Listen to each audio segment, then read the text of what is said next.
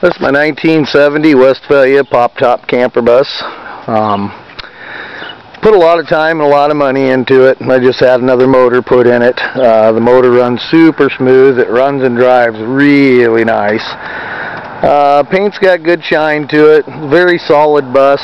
Um, when I got it, the only rust in it's just a teeny little bit that's right there and then uh, the battery tray had a little in it and I had a new tray welded in there. Um, just a fun fun bus all the way around. Uh, it could use a new canvas on the pop top part. I have patched them before. My last one I, I was able to patch but this one's got a couple pretty big holes in it so it really should be replaced which you can get the replacements real cheap. Um, but it's real quiet real smooth. Uh, open it up here for you, see inside. I just put uh, new carpet in and the seats aren't in too bad a shape. They could be recovered real easy. It's the original yellow uh, seats and this folds down into a nice little bed. Um, flip up table still there. When I got it, this one had the original uh, sink set up for right there, but it was missing. But I do have the jump seat in the box that goes there um, that someone can re redo the seat covers on. Um, well, the guy I got it from said it was the original miles on it. It reads about 53,000 miles, and I believe it because it drives like it has 53,000. Um, and it was real clean other than, you know, the seats aren't in the best of condition. They could be recovered as well.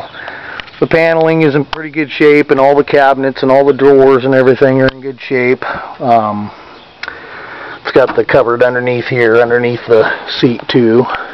Take you around underneath the back here, open the back up.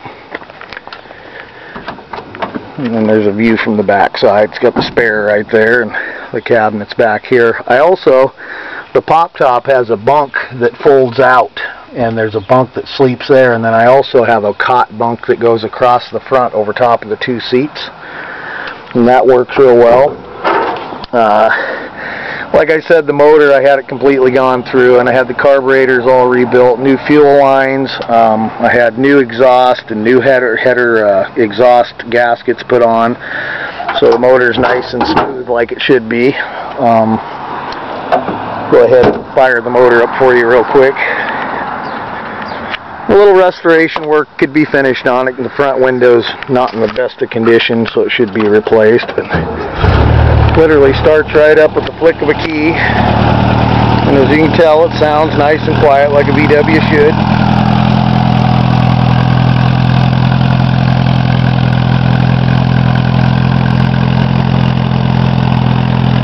All in all, it makes someone a real nice, fun camping camping rig. We've sure enjoyed it. I hate parting with it, but it's uh, it's time someone else to enjoy it.